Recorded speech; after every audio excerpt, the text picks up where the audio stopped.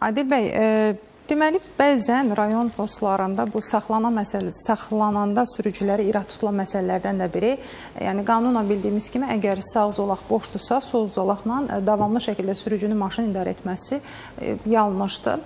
E, ancaq sürücülərin şikayəti də bu yöndədir ki, bəzi ərazilər var ki, orada sağ zolaq e, yol pis vəziyyətdədir və sürücü məcburdur ki, sol zolaqla irəliləsin, amma bunu yol patrul xidmətləri e, belə deyək də nəzərə almırlar. Bəli, tamamilə doğru ə, e, vurğulayırsınız.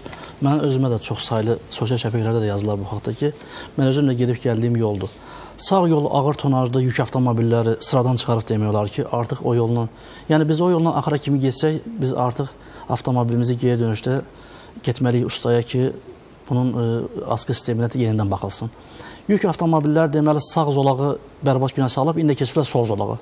Dönmə işığını yalandan yanlı qoyurlar, güya ki sola dönürlər və burada aşağı sürətlə belə deyək də daş maşınıdır, o çox ağır bir tonajlı yük maşınıdır. O zorla gedir də, yəni 50 sürətdən artıq gedə bilmir. Sürət yavaş-yavaş gedir.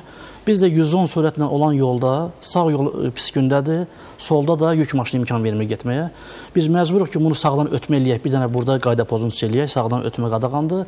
Sonra keçək sol zolda hərəkət eləyək ki, sağ yol bərbad gündədir. Və gəlib posta çatanda da burada bizi cərmələyirlər ki, biz sağ boş olan halda niyə solda getmisiniz?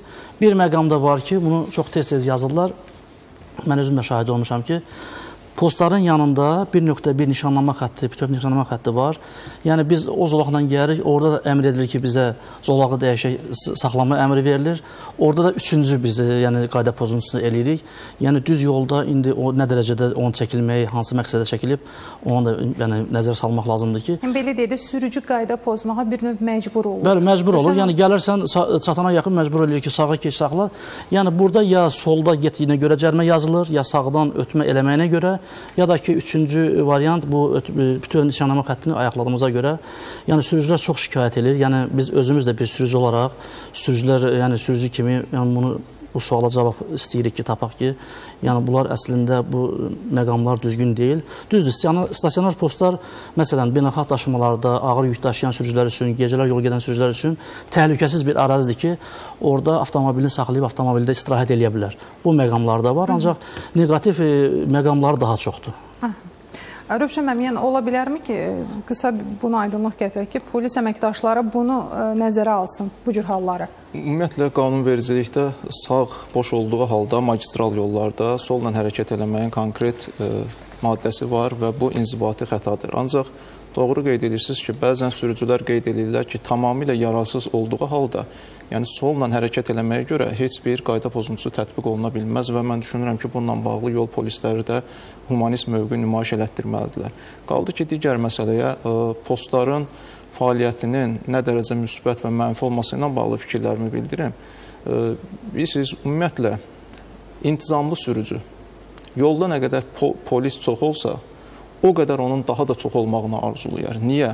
Mən qayda pozmuram sürət həddini aşmıram, ötmə manevr etmə qaydasını pozmuram, öz əzizlərimlə bir yol gedirəmsə, yolda nə qədər yol polisi çox görsəm, o mənim təhlükəsizliyim üçün yaxşıdır. Daha təhlükəsiz hiss edərəm. Gəlin düşünək ki, bir anlıq ə, e, magistral yollarda yol polisləri xidmət aparmır və onda bəzi belə deyək də, hansı ki, özünü avtomobili təhlükəli idarə etməklə özünü göstərmək istəyən şəxslər başlayıb orada kobud qayda pozuntularına yol verəcəklər. Ona görə də yol polisinin çox olmağından bəzi sürücülər narazılıq eləyir. İnanın, biz o sürücüləri araşdırırıq ki, görəsən əsasən kimlər narazılıq eləyir? Ən çox qayda pozan Ən sürücülər. Qayda Niyə? Pozun. Qayda pozun, ancaq mənə cərimə tətbiq olunmasın. Olmaz ki, qayda pozmayasınız. Yəni varsa, dediyim kimi, qayda pozmadığı halda hansısa bir posta saxlanılır, incidilirsə, mütləq şəkildə müraciət eləsinlər. Biz demirik ki, belə hallar ümumiyyətlə yoxdur. Ola bilsin. Təbii Yol polisində də belə ə, e, faktlar ola bilər. Ancaq müraciət eləsinlər, araşdırılsın. Əgər araşdırma nəticəsində müəyyən olunsa ki, doğrudan da burada Aha. sürücünün heç bir təqsiri olmadan onu incidiblər, təbii ki, həmin əməkdaş barəsində qanuna uyğun tədbirlər görülür. Yəni hər kəs hər kəs bundan arxayın olsun tam.